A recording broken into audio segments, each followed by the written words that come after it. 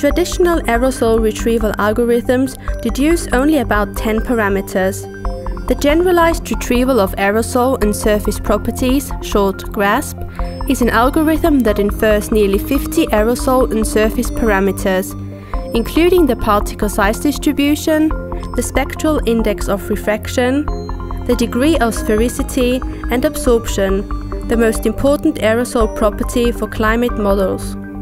GRASP works under different conditions, also including bright surfaces like deserts, where traditional aerosol algorithms struggle with the reflectance that overwhelms the signal of aerosols. GRASP is a highly versatile algorithm that allows input from a wide variety of satellite and surface measurements.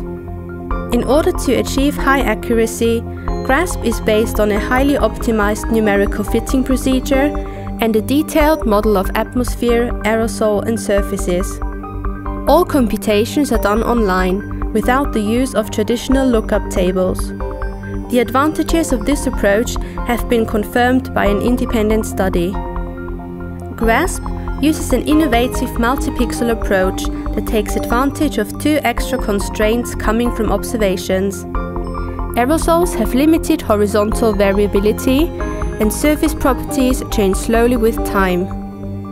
GRASP is based on a very positive and well-recognized heritage. The roots of GRASP are based upon aerosol retrieval developments implemented for Aeronet, a worldwide network of over 200 radiometers NASA that are acknowledged as highly valued aerosol products in a very large number of scientific publications.